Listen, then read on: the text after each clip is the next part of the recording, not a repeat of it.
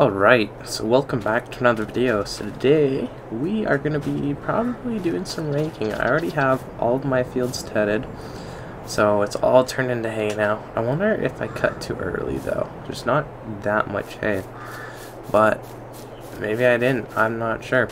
Also, if you haven't already, please go and subscribe. We're trying to reach 100,000 subs by the end of 2022. Um, yeah. Uh, I've got some big things coming up. Hopefully it actually works out. Um, mod wise, I'm I'm learning to mod, so I'm gonna try and bring some stuff here. I don't know if I'll make it public. I'm also looking for help. if anybody wants to help, um, I need to learn how to do the XMLs like from the ground up. So for not the modDesc, but the actual um, um, object mod or XML. The mod's XML, not the modDesc. Um, so yeah, if anyone wants to show me how to do that from the ground up, that would be amazing. And I think, yeah, it's something that no one's really seen before in Farming Sim, so I think it's going to be really cool.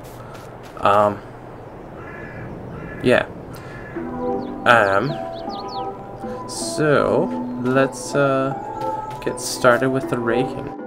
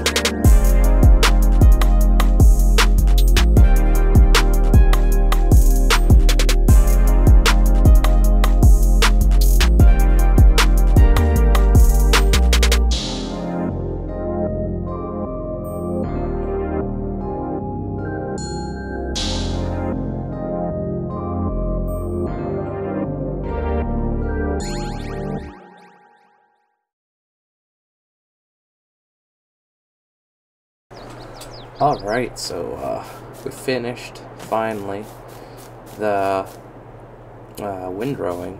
I would have used like an actual proper rake, you know, how they use in the West and in uh, Canada and America. Usually they're New Holland ones or some interesting looking John Deere ones or but I can't find nothing that really looks good.